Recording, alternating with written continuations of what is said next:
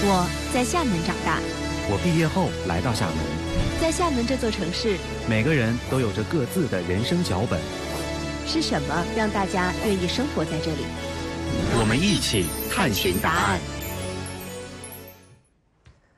尤总，哎，老乡，老乡，老乡，在忙吗？没有，你来了不敢忙。有请，我的陕西老乡，厦门天卫科技有限公司董事长，他的公司运营着厦门第一颗城市定制卫星——天卫科技一号先导星。我们可以看到，现在卫星正好飞过的是南美的这个上空，啊，这边就是我们的这个厦门。一说起这颗卫星，尤琴就打开了话匣子。他一九九九年大学毕业后来到厦门，长期从事城市数字化应用方面的相关工作。这些年，随着城市的飞速发展，厦门在智慧城市建设、数字化应用领域急需专属的卫星数据支持。二零二零年，厦门决定建造一颗城市定制卫星。尤晴敏锐地抓住了这个机遇，并决定全身投入其中，完成他在卫星数据应用领域的创业梦想。它的因为这个是应用的这个场景非常多，卫星数据回来，呃，对我们城市进行这个呃扫描过去以后，它可以自动成像成这个 3D 建模图，就可以给这种做这个呃元宇宙的，还有再到前身做这个 3D AR VR 的这种企业提供这个地理信息数据的底层。然而，想要发射运营一颗卫星并不容易，在这样的前沿领域中。人才、技术、资金、政策，每一个环节都十分关键。在项目的推进中，厦门相关部门的人才引进政策帮助尤勤迅速组建起了自己的技术团队。科技部门更是配合他的团队前往多个单位调研，完成卫星前期的应用规划。再加上点对点的企业手续办理支持，这些高效的政务服务都给了尤勤实现自己卫星梦更足的底气。我一直认为厦门的整个的营商环境，在我心里哈都排在前很前面的。啊，我们厦门政府的这个服务啊，呃，经常都是这个一对一的，啊，而且他们会有一个有一个团队，然后一直配合你。我觉得这这个很，还有一个就是说我们走的这些审批流程，然后比较快。这个政府的一些公信力啊，还有透明度啊，其实对比了一下，厦门真的是对于我们创业的来讲，还是很值得在这边打拼的。四、三、二、一，点火！点火！起飞！近日。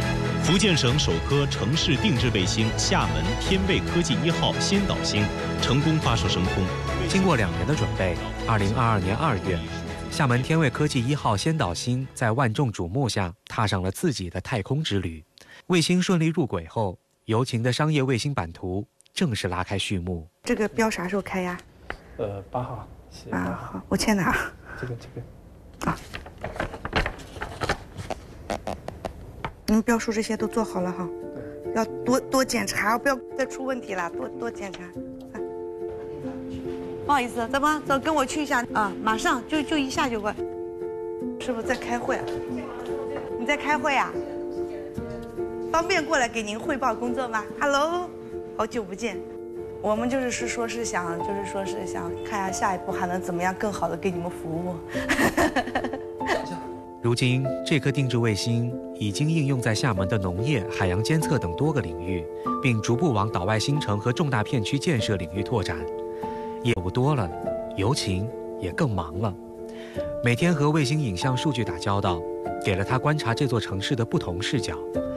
从遥远的外太空，他看到了飞速发展的厦门，而这也让他有更多的信心，扎根生活在这座城市。